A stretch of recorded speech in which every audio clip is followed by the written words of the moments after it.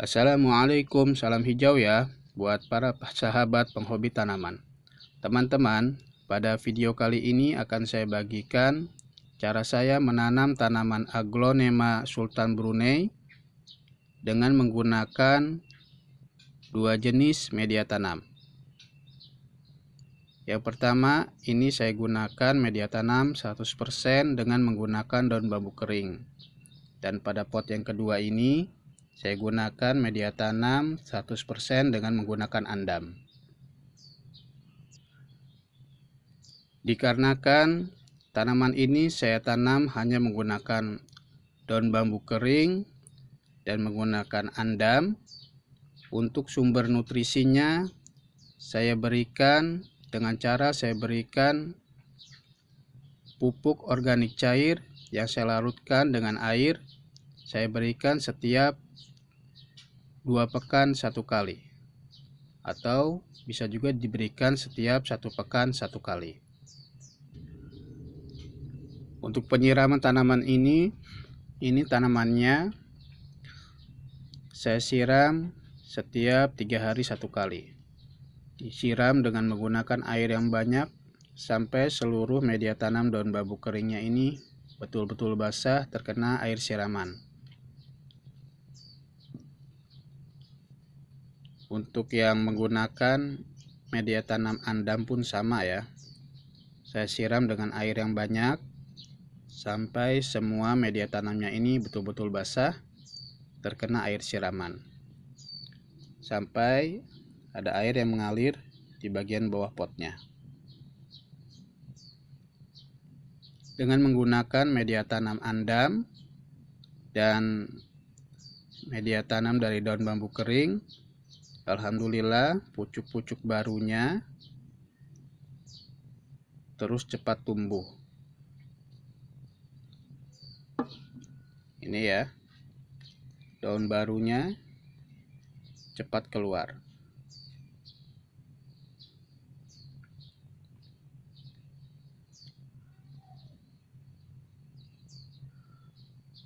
Selain pucuknya cepat keluar warna daunnya.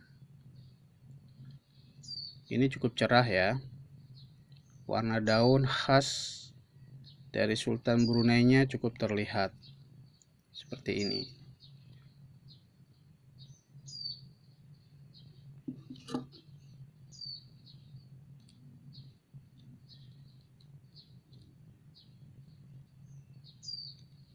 Jadi buat teman-teman terutama teman-teman para penanam pemula wajib mencoba menanam aglonema sultan Brunei teman-teman dengan menggunakan media tanam dari daun bambu kering dan dari andam. Dan yang menjadi catatan buat kita semua adalah jika kita menggunakan media tanam 100% dengan daun bambu kering dan media tanam dari andam dikarenakan ini tidak menggunakan pupuk kandang ataupun kompos atau tanah maka pemupukannya harus rutin. Rutin dilakukan setiap satu pekan satu kali atau dua pekan satu kali. Bisa menggunakan pupuk organik cair yang kita larutkan dengan air lalu kita siram kepada media tanamnya atau bisa juga teman-teman berikan taburan butiran NPK di media tanamnya. Setiap satu bulan satu kali. Untuk pot yang ukurannya 12 cm seperti ini cukup teman-teman tabur 6 butir NPK mengelilingi bibir potnya dan untuk pot yang berukuran 8 cm eh, 18 cm bisa teman-teman tabur sebanyak 10 butir. Ditabur mengelilingi media tanamnya. Demikian tips yang bisa saya bagikan untuk menanam tanaman aglonema. Semoga apa yang saya bagikan ini bermanfaat untuk teman-teman semua. Dan semoga teman-teman semua suka dengan videonya ya. Insya Allah kita akan berjumpa kembali dengan video-video yang berikutnya. Wassalamualaikum warahmatullahi wabarakatuh.